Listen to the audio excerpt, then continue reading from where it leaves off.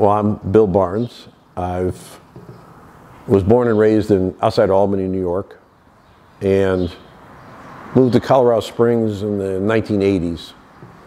Came down here in 1989, and pretty much been here ever since.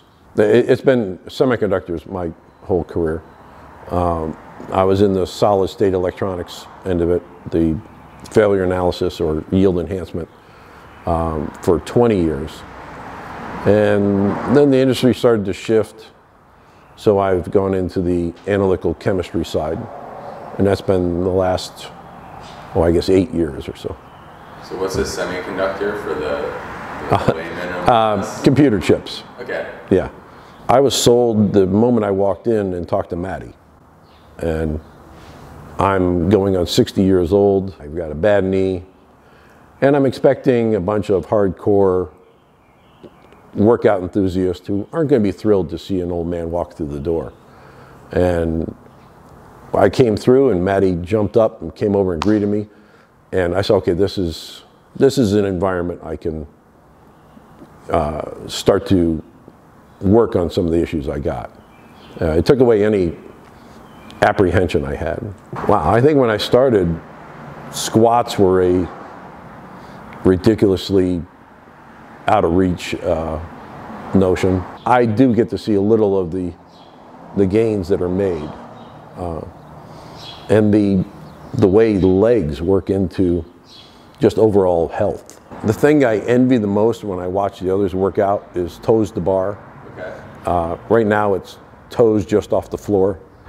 The combination of body weight and strength that this type of workout exposes. So yeah, toes to bar would be. I, I'd be happy with toes anywhere to vertical or to horizontal. I, I've told you, I married a woman that is out of my league, and every opportunity I have to I hate to say be worthy of being with such a woman, but lessen that feeling of what's that guy doing with her uh, is something I want to embrace. And at the same time, my wife and I have both had a lot of discussions on what are the next 20 years. Uh, we both lost our fathers in the last three or four years, in their mid 80s. But we watched the decline of mobility and strength and just as simple as getting off the couch. And that's not what we want for our lives. So, um, yeah, I, I, remind myself this is this is a marathon. It's not a sprint, and to keep in the game as long as you can. Yeah, I, I would love to see an older crowd in here. Not for me, but for them. This is um, it, has such a benefit, and yeah, it makes me excited to to show up and be able to walk well the next day. I've never felt the anxiety of being out of step with those that are far more fit. Um, there's an inclusive, positive energy here that I've been going to the gym for 40 years and I've never witnessed elsewhere. I enjoyed my group at the boot camp workout, but this is different. And, and it starts at the top and it works all the way through every member I've come across. Uh, it's a it's a good group. Um, when the pandemic hit, and it was kept from us for a few months, it was it was nice to come back and see some of these faces that um, I've never experienced in 40 years of working out. I guess I'm a little odd this way, but I, have always been more of the slower stuff. like Neil Young. Uh,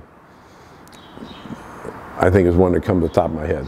Uh, there was one young lady that came in, and I, matter of fact, I think I told her one day. She was so honest and open with her story that it was it was inspiring to, to hear such honesty. Uh, I think she'd been through some struggles earlier in life, and uh, from the sheltered life I've led, sometimes you forget the the spectrum of humanity that and that's one of the things I love about here. It, it is really is a spectrum of humanity. There's a, there's a lot of really interesting people. I think I have more of a sprinter mentality than some of the long stuff. Uh, I do like looking up and 25 minutes have passed, and the quick changeover has made the time fly. I think the one I, I get the most immediate feedback for myself is deadlifts. Uh, never having done them, I spent 30 years in the gym and you're always doing bench press and you're doing arms and you're doing the upper body stuff. And to be taught properly how to do these lower body workouts is phenomenal. Uh, there's in deadlifts, I always leave feeling my back is so much better off for it. I never wear my glasses in, so I can never read the board. and I, I feel an, and I feel an anxiety when, you know, it's, Many things. yeah, which, which one again are we on? Okay. Um, that's why I like working out with Jess. Uh, I look over at her, I go lower weight, and I can kind of follow along.